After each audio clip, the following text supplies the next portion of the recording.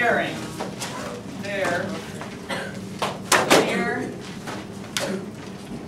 is exponential versus um, quadratic.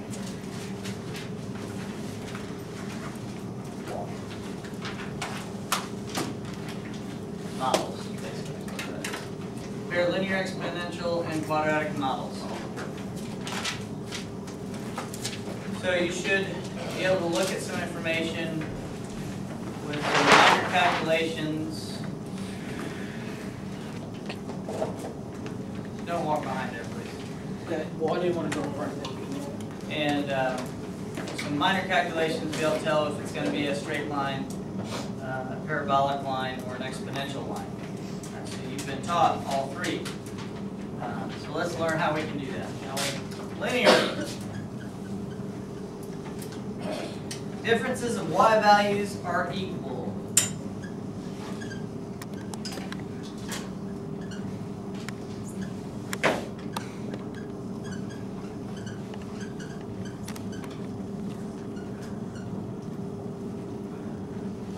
Basically, uh, y equals mx plus b is the equation.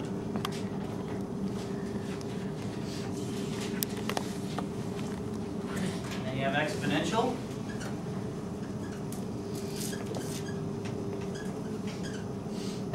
Uh, ratios of y values are equal. What's a ratio? Fraction.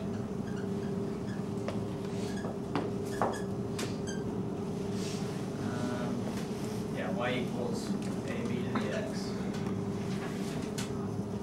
That was our exponential function. Alright, and typically, those are really easy to see. Uh, And then if neither one of those work, you're going to assume it's quadratic, but you still have to check it. So a quadratic model, the second difference is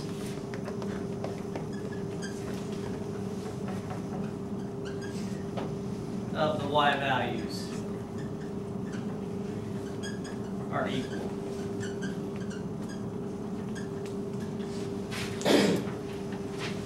And that's, that form is y equals ax squared. Those are parabolic, which we've already been dealing with with uh, parabolas. Those are quadratic.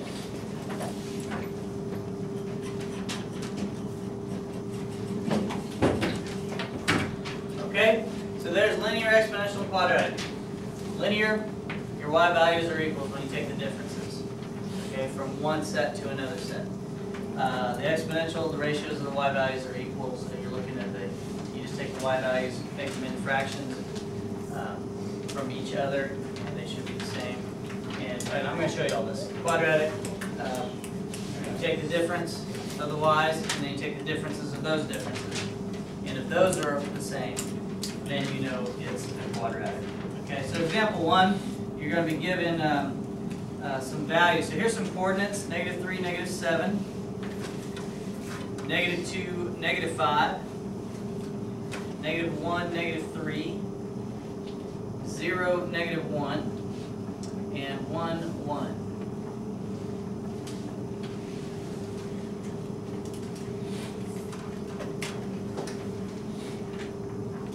Okay, so uh, basically in most of this, uh, the x values, if you take the differences, they're going to be equal for all of them. So that's why we're focusing on just the y values here. So let's just look at our y values. Let's take the differences. Let's just look for the basic stuff first, what we what we know to be very simple. Find the differences in your y values. So negative 7 minus a negative 5. Negative 2. Negative 7 minus a negative 5, that's like plus positive. That's negative 2. What is negative 5 minus a negative 3? Negative 2. You got to check them all. Negative 3 and negative 1. Negative 2. And negative 1 minus 1. Okay, so what is that? Linear. Linear. So this would be a linear, a linear model. This would form a straight line. Okay. Pretty simple. Now write the equation.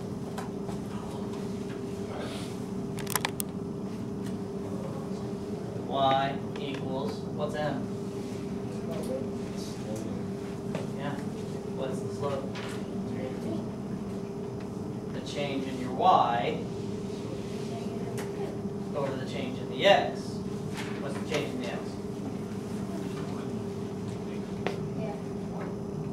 Negative three minus a negative two is what? Negative one. Negative two minus a negative one? Negative one. What's a negative two over negative one? Positive two. So here I have y equals two x plus, where's across the y-axis? How do you know? Zero. Yeah, because the x is zero here. Okay, if you didn't know that, what would you do? If you did not have that one, what would you do? You, what? You'd have to pick one of these values and plug in for x and y and solve for b. Okay. Everybody should be able to do that, yeah?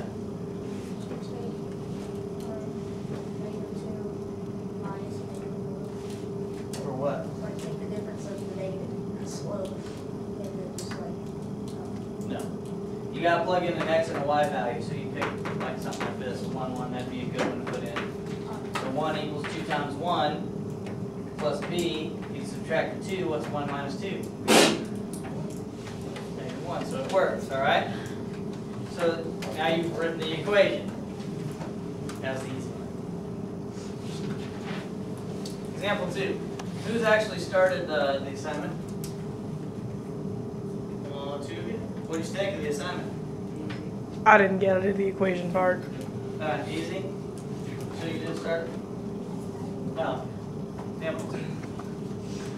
Here's a table, which is not any different than your coordinates. Just written look differently.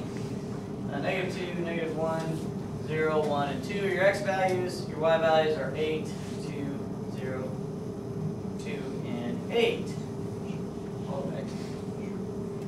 Just by looking at that, can you tell me what it is? Parabola. How do you know? Because has It looks, what? It looks symmetrical. Okay? It looks symmetrical. You're assuming it, it, it is because these are symmetrical. But then you need to make sure that these are also symmetrical, you know, the same distance away from each other as well. But yeah, this is a, this is gonna be a parabola quadratic equation. So now the question is, let's, let's just prove it by doing what we, uh, do here. So, uh, let's find our differences in our y's. What's that? Six. Six, what's that? Two. Oh my, Two. negative two, Negative six. negative six. Oh, well, it's obviously not linear. Take the second differences, maybe it's gonna be quadratic. What's that? Six minus two? Four. Two minus a negative two? Four. Negative two minus six?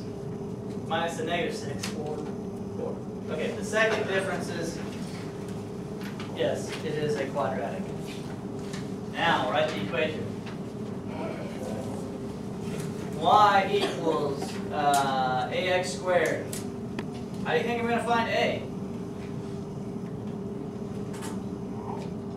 Well, do I know x and y? You do? So what do we gotta do? Ah, let's pick a point. Pick a point. Uh, zero zero would not be a good one to pick. Not do uh, a, point that's off of that. One, two, alright. So two is y, and one is x. Now solve for a. That's one a, a equals two, two. So y equals two x squared. Ta-da! Not so bad, huh? No, not yet. So that's, I mean, you know what, you know what to do now? Yep. So what I do is I always start with trying to find the linear differences, and then since I have those differences, I directly go to quadratic to see if they are, if it's a quadratic. I take the second differences. If it's not either of those, then we need to look at exponential. So example three, guess what this is gonna be? Well, maybe. Alright, so here, given a table again. Here are your values, negative one, zero, one, two, three. And your y values, sixteen, four, one, one fourth, one sixteenth. Okay, so yes, some of these really do look like what you think they are. Okay? But you're gonna show me, um, this stuff. So those of you who worked on the homework, did it look this simple? Yeah. You done it? Oh, why stop? Oh, okay, oh. all right. What do you think? Did you do carbon? You did. Yeah. So it's, it's this easy? Yeah. I'm just trying to get everybody else to understand that it's not that difficult. All right. Um, again, let's go through this, this system. What's 16 minus 4? And 4 minus 1? Oh my, that's three fourths. Uh, oh my. Well, let's just stop there because if the second differences here are opposite, or are not the same, then we don't even need to know that. Twelve minus three is nine, and we know that three minus three fourths is not nine. Okay, it's two and one fourth, so those of you are struggling. So, so we know it's not linear, and we know it's not quadratic. It, for this, uh, uh, lesson, it must be, um, exponential, which is y equals ab to the x. Now we need to know, um, a and b, but you do know a. Mhm. A is always the initial value. The beginning point. Okay? And I'm not talking about this one. Which one do you think I'm talking about? Oh, zero, four. Yeah. This is usually where we're starting our exponential functions um, when we talk about these things. So A is usually going to be this value right here. All right? So y equals 4b to the x. How do you think we can find um, b at this point? Plug in extra one. You could try that, but you should probably know something about what I already said at the beginning. What does it say over there?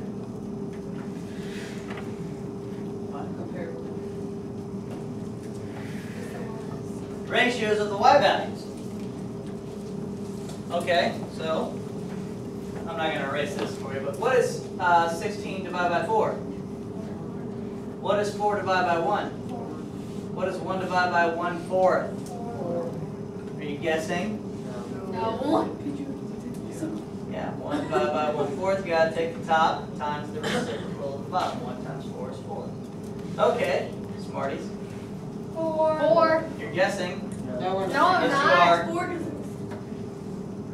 Uh, I'm sorry. 1 fourth divided by 1 it's- Do you sixteenth. change the one fourth to four over one fourth? 1 fourth times 16 over 4, uh, 1. So that's 16 over 4, which is 4. Okay, what is the ratio?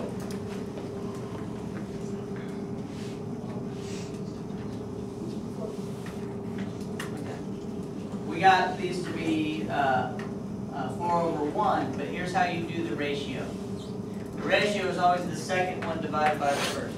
Second one divided by this, the second one divided by this, this one divided by that. So what is 4 divided by 16? One, four, four. One fourth. Okay, so really B is oops, one fourth the x.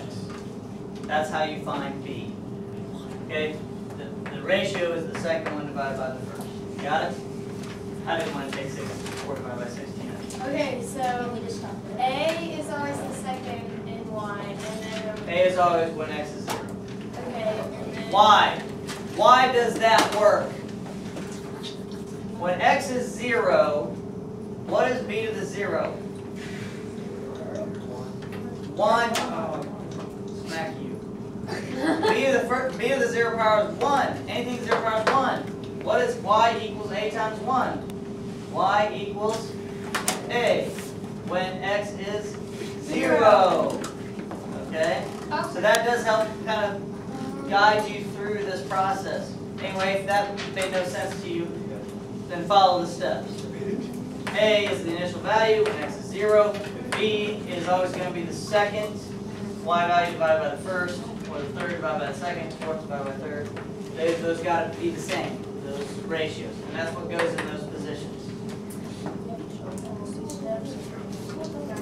It's really not that difficult, guys, once you get going. Okay? So those of you who've worked on it, what do you think? Easier. Alright. Assignment. Make it short. Please. Make it short. All right. That's small. That's short. This is tall. That's big. What is the number? Big. Six Well, technically, it's I actually don't have what it is. What is it? Three to what? 18. Three to eighteen all. Ooh, yes, Makes your view even. No.